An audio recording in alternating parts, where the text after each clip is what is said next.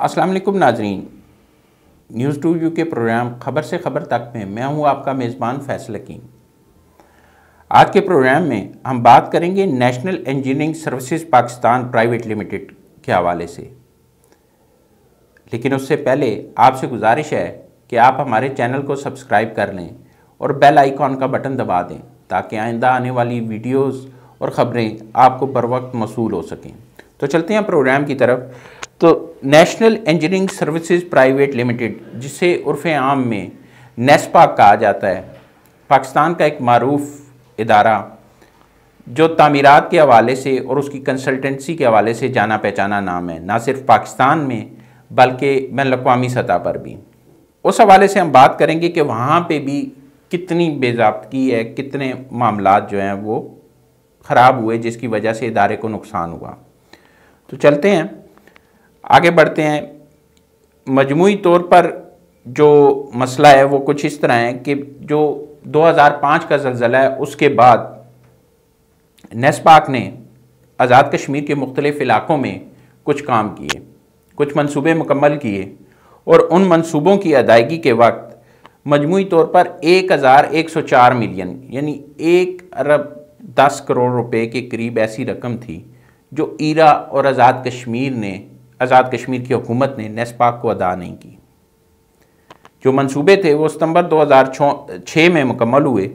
लेकिन कुछ, जो ईरा और आज़ाद कश्मीर की हुकूमत थी, उनका ये कहना था कि जो मंसूबे मुकम्मल किए गए हैं, उनमें कुछ खामियाँ हैं जिनकी बिना पर यह अदायगी रोकी जा रही है। और यह अदायगी थी एक अरब दस करोड़ से जायद की। उसमें पचपन करोड़ रुपए ऐसे थे जो मुतनाज़ा थे। इस हवाले से जो मुतल अथॉरिटीज़ थी, वो इस इशू को हल करने में नाकाम रहीं। वो कैसे नाकाम रहीं? एक, नेस्पाक और उससे मुतल जो भी लोग थे, जो ज़िम्मेदारान थे, वो जो शिकायत सामने आई थी मंसूबों के हवाले से, उसको दूर नहीं कर सके।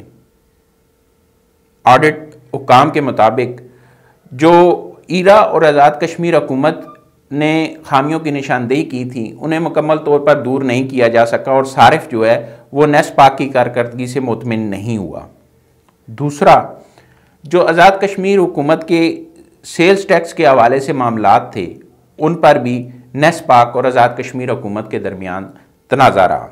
ये मामला इसी तरह चलता रहा और 2019 में आला हुकाम के नोटिस में लाया गया कि अदम रिकवरी जो है, उसके बायस मजमू तौर पर national engineering services private limited NESPAK को 55 करोड़ रुपए का नुकसान हो रहा है। इस हवाले से ऑडिट ने भी एक्शन लिया और रिकवरी के अहकाम दिए। इसके साथ साथ ज़िम्मेदारान का तयन करने की भी हदायत दी। लेकिन 2019 से 2020 और 2021 आ गया।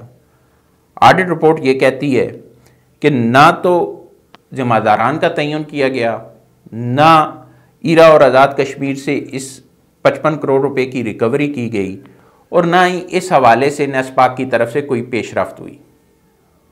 पचपन करोड़ रुपए की रकम जो 2006 से जो है वो जेर अल्तवा अदायगी अभी तक वो रिकवरी नहीं हो सकी नेस्पाक उसको रिकवर नहीं कर सका और इस तरह मजमू तौर पर पचपन करोड़ रुपए से जायद का नुकसान हुआ है इदारे को। इसका ज़िम्मेदार कौन है? इस हवाले से भी तयन नहीं किया जा रहा।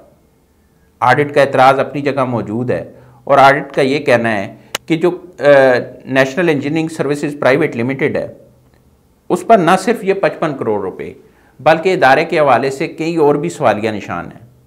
मिसाल के तौर पर ऑडिट रिपोर्ट ये कहती है कि जो कंसल्टेंसी की मद में 2018-19 और 2017-18 का मुवजना किया जाए तो तकरीबन 24 करोड़ रुपए कम मिले। नेस्पाक मुल्क में जो पब्लिक सेक्टर के प्रोग्राम्स हैं या मंसूबे हैं, वहाँ पर तो उसको काम मिला, लेकिन निजी सेक्टर में वो अपना लोहा नहीं मनवा सकी। बैरूनी ममालिक में भी जहाँ जहाँ मंसूबे किए गए थे, कोई नया मंसूबा काबिल कदर या जिसको कहा जा सके कि कोई गैर मामूली मंसूबा नेस्पाक नहीं ले सकी। तो ऑडिट रिपोर्ट और ऑडिट हुकाम का ये भी कहना है कि ये भी एक सवालिया निशान है कि नेस्पाक के फाइनेंशियल मामला और नेस्पाक की कारकर्दगी का जायज़ा लिया जाए और इस हवाले से कोई हमत अमली वजह की जाए। अब तक के लिए इतना ही। बहुत जल्द आपके पास एक नई खबर के साथ हाजिर होंगे। तब तक के लिए अल्लाह हाफिज़।